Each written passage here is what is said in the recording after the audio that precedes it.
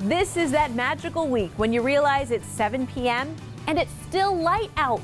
We jumped forward this past weekend, so let's find out five things you didn't know about daylight saving time.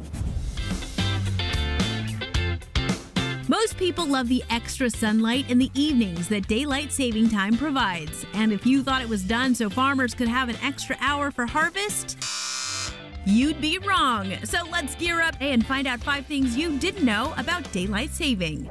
The first thing you didn't know about daylight saving time, it was all about bugs. An entomologist named George Vernon Hudson was one of the first to seriously push this. He was frustrated by how early the sun set during the summer months, which cut short his bug hunting. He thought springing the clocks forward would allow more daylight for bug collecting. The clocks could then be switched back in the winter when it was too cold.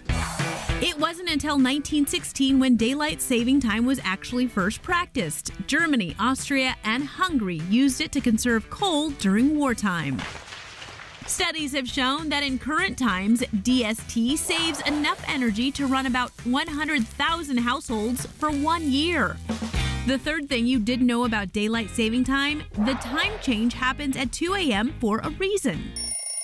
By waiting until 2 in the morning to give or take an hour, the idea is that most workers with early shifts will still be in bed, and most bars and restaurants will already be closed.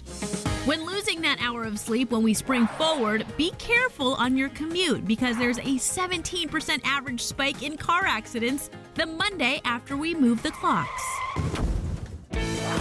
Of commutes, starting at 2 a.m., Amtrak will shorten stops where possible because trains can't magically jump down the track to make up for the lost hour. So don't be late. Rise and shine with five things you didn't know about daylight saving time.